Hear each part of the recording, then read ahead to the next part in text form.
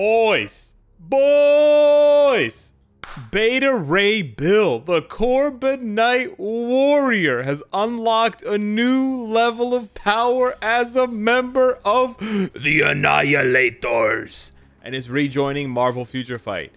Ooh, okay. I am once more excited for an update. It didn't happen for Captain Marvel. Nope. It didn't happen for What If Season 2. Nope. And it it sort of had well, it it did happen for Goblin Queen, but then they kind of screwed us over on the back end on that one, but that one was hype. This is another very hype update. Not only because really cool characters, also a bunch of underused, long forgotten in dire need of rework characters. This is like potentially a full slate from top to bottom of characters that need reworks, getting them, which you always love to see. Now, over on the forums, let's take a look. By the way, guys, why aren't you following me on Twitter? You're missing amazing posts like Annihilator My Bussy, by the way, with 43 likes and over a thousand impressions. Really crazy stuff here, guys. Really groundbreaking, groundbreaking stuff. Anywho, over on the forums, this superhero has enhanced his powers to become a champion for his people. By the way, his people look like horses. They're very freaky looking. The Korbinite Warrior. Not to be confused with what they encased Han Solo in, which is Carbonite. Uh, and not to be uh, confused with what we wanted them to add more of uh, as a drop for game modes, Carbonadium. Check out the new look and abilities of this superhero who wields the Twilight Sword. Wait, what? Okay, so I had no idea this comic existed and I just went and read the whole thing. Holy shit, it's really good. I liked Beta Ray Bill before, but he's an absolute badass. Holy shit. I can't believe I made fun of him for looking like a horse. He still looks like a horse, but this is a really badass storyline. It's from 2021. It's just five issues. It's, it's titled Beta Ray Bill. It's really, really good. I'm going to spoil some of it now for you. So if you don't want to be spoiled, pause this video, go and read the five issues, go buy them from your local comic book store, whatever it is. Subscribe to the Marvel thing and Marvel Online uh, and read them. They're really, really good. Uh, and so basically, uh, yeah, it's it's absolutely amazing because I was so confused when they said here in the sneak peek, they're like, uh, check out the new looks and abilities of the superhero who wields the Twilight Sword. Because as far as I understood it, this is the version of uh, this is the version of Beta Ray Bill I thought we were getting with the sneak peek because this is what he looks like as far as the armor goes. But I was confused because this look is not from any of the Annihilators runs, and it's not from any recent Beta Ray Bill stuff. This is from Herald Thor, which we looked at and talked about back in 2021 when we got the Herald Thor uniform with, with after the Knull update. But this is the sneak peek, so check it out. You see him in the armor, which is exactly like... It's, it's actually very confusing, because you see him with the armor, right? Which is basically the one that I just showed you. It's, it's, it's, it's exactly this. But he doesn't have Stormbreaker. He doesn't have his Stormbreaker here. He actually is wielding an axe. This is... I think this actually might be a mistake. I think someone might have screwed up either uh, in, in the in the sneak peek team or in the translation. I'm thinking maybe it's the translation team. Maybe they were working with an earlier version of Beta Ray Bill that they were going to use the Twilight Sword, and now they're not.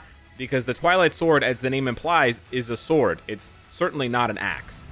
But this is actually this is actually very confusing from a continuity point of view because it's an axe, which is not Stormbreaker and not Twilight Sword. But then they mention Twilight Sword, but then the armor is from Herald Thor, the Herald Thor run. So if someone has more information to sort of to, to, to shed light on this confusion here, um, that would be great.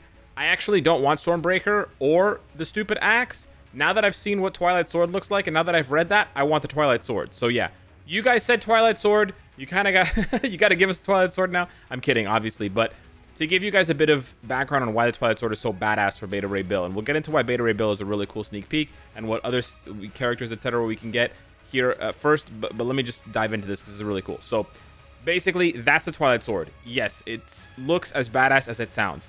And essentially, Beta Ray Bill goes into hell to kill Surtur. Yeah, it sounds as badass as it is, and it, and it is as badass as it sounds. Uh, and so basically, Surtur beats the shit out of him straight up because Surtur's way too strong. He just bodies the shit out of this giant horse-faced mother. Um, and yeah, I mean, Beta Ray Bill does his best. He does some wrestling moves. He he like you know shish kebabs Surtur. Um, uh, Scourge comes in and uses this like massive gun made out of this Robo Lady, and he blows a hole in Surtur's chest. Um, but Surtur's too strong. Uh, but then Beta Ray Bill's like, you know what? We're gonna sword in the so stone, Excalibur this shit, and he pulls the Twilight Sword out of the stone, with a like one of the coolest animations I've ever seen. Like that's just so badass. And he's got like a robo leg, like he's Full Metal Alchemist or some shit. And then he just chops Surtur's fucking head off. And he's like, that was for my home, and this is for me. And he basically like devolves. I don't know. He pulls like some reverse Gon, reverse adult Gon shit, and he like transforms back into Saitama. I don't know what's going on with that. But man, look at the flames in the back of his head. Like if this is the Beta Ray Bill that we're getting, Oh my god, because this is essentially the most powerful version of Beta Ray Bill ever, to my knowledge. The Twilight Sword is one of the most powerful weapons in the universe. It has the it has the power and the strength to destroy entire planets. So Beta Ray Bill could fly into space and like swipe a planet, and it just nukes the planet, the whole fucking planet. And it's made of uh, Uru. It's like unbreakable, all that shit. And he literally kills Surtur with it. So yeah, now that they said Twilight Sword, I don't want Stormbreaker. I don't want some stupid generic axe. I want this bad bitch. You, everybody wants this bad bitch. You know what I'm saying? Not to mention, look at this. Beta Ray Bill's got a bad bitch too. You remember the Robo Lady I talked about? She's got a huge ass. Yeah, crazy, right? So you should really read this comic. I'm not. I'm not kidding. Anyways, back to Beta Ray Bill. So this is the look we're getting armor-wise. Have no idea what weapon we're getting, but I'm literally now praying for uh, the Twilight Sword because that is so fucking cool. Uh, now, as far as what else we could get, we've covered Beta Ray Bill extensively. I'm actually very hyped for Beta Ray Bill. I'm probably going to tier for him if he's as good or better than Odin, and we'll talk about that in a little bit. But first, let's talk about who else we could be getting. Now, the Annihilators, as they mentioned in the sneak peek, are a group that hasn't gotten together very many times, but it's a very consistent group. It's not like the X-Men or the Avengers where you have like a thousand people shuffling in and out like a merry-go-round or musical chairs. It's always the same five clowns. So you always got Beta Ray Bill, you always got Gladiator, you always got Ronan, you always got uh, Quasar, the, the, the man Quasar, and then you always got Adam Warlock, Magus, whatever. So this is always the crew. And then you also have Silver Surfer. He, he, he shows up now and then. But yeah, that's, that's basically it. So there's a lot of native tier 2s here. A lot, a lot, right? Like Silver Surfer, Adam, Gladiator, and Beta. That's four. So they, they chose they chose good. So we could definitely we're like we're obviously getting Beta Ray Bill, and this is him from the most recent Annihilators run, I believe. Um, there's a possibility we could get a Silver Surfer, okay, from this same run. This was a um, Annihilation. Um, this was a Annihilator something. I can't remember what it's called, but it's it's Annihilator Scourge or something like that. Uh, and I think it's the most recent uh, comic where they actually team up together. So we could be getting uh, potentially Silver Surfer Tier 4. I don't know how they're going to do a new uniform for him because it's still sort of Silver Surfer Black, but they could just do another one that's like even more cosmic looking. It looks really cool. Also, in this comic run, which I highly recommend you read, it's it's it's kind of I don't like the ending. I think it's unsatisfying and it's a bit too convoluted, but it's got some really cool panels uh, art-wise and sort of like, you know, um, the illustrations are really gorgeous. So Sentry's also in this, so Sentry could be getting something. Now Sentry is sort of evil in this in this part where he just looks like the Sentry we have, but then he fuses like the good Sentry uh, fuses with Silver Surfer, and then Silver Surfer like inserts himself into the evil Sentry to like merge them. Don't ask. It looks really cool though, and you can see here he's like pulling himself out but leaving Sentry intact. And then that's when you get the red Sentry. So this guy actually pulls up at the end, um, and then just like he like giga claps uh, this this this like evil vortex that shows up and kills Nova he giga claps it. Nova's also in this. Gladiator's also in this. You can see all these guys here, but they just have like their base uniforms, like the, what we have now, right? Dark, there's uh, there's Darkhawk, uh, there's uh, Cosmo, there's uh, Puck, I think. There's a lot of there's a lot of people. There's Human Torch, but they all have their base look. So I don't know if if they're going with this run specifically. I don't know exactly who they'd be choosing, but they would have to give a different look for you know all these guys because because Richard Dick Rider, uh, Darkhawk, Gladiator, they all just have their base looks, right? Even Human Torch has his base look. So I have no idea. But included included in this run here, because it's called Annihilation Scourge, you have Blastaar, who's a really cool villain. He sort of looks like Beast on steroids, which is pretty dope. He's very strong. And then you also have, of course, the big bad himself, Annihilus. I have been begging for Annihilus for ages.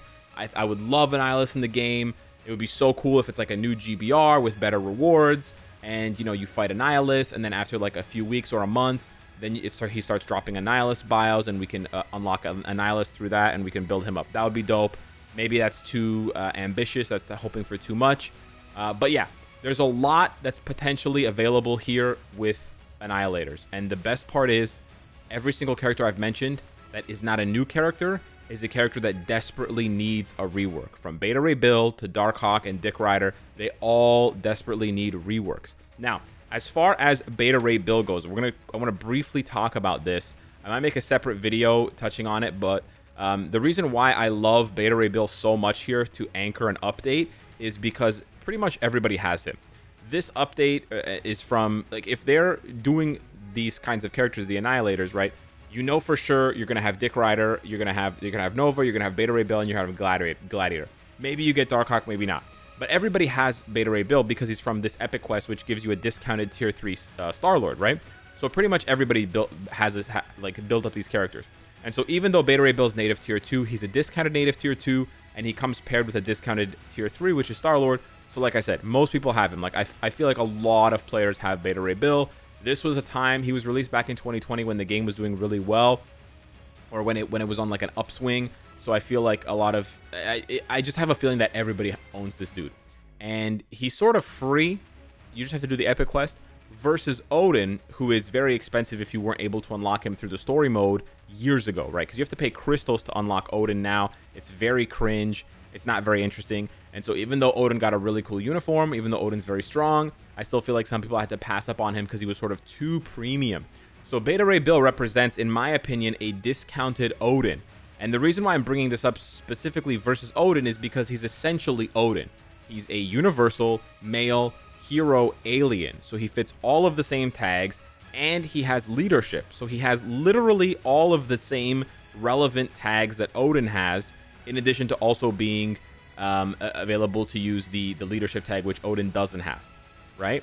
So he that's even better. Like energy projection and command are probably a better overall combo for World Boss Legend uh, stages because there, I believe there's no stages for shock but leadership means he can leverage White Fox, which is massive for damage. So that is really, really good. Um, and also because he's cheaper than Odin, he represents a better alternative to players who don't want to build up Odin for something like ABX, right? And I've been looking for a replacement for Thor and ABX, or sorry, ABL. I've been looking at a replacement for Thor ABL for a long time. I have been considering, I've, I've honestly been considering Odin because he can score quite well. If if Beta Ray Bill can outscore Odin, that would be amazing, right? Because for the for the day here, I'm having a hard time navigating through this, but yeah, it's coming in a couple days, right there. You have the male, uh, you sorry, the, yeah, the alien male hero category. So yeah, Beta Ray Bill definitely represents a possibility for major major value. Obviously, we want to see more characters getting reworks with this update. Obviously, we want to see either a boost to rewards or a new game mode with better rewards or both. So this update still has a lot to bring to us, but I think it's off to a really good start. They just need to clear up the confusion around the Twilight Sword. So yeah, hit me up in the comments down below. Let me know if you're hyped and if you're getting on the hype train. Thank you so much for watching. Smash the like button, and I'll see you in the next one. Take care.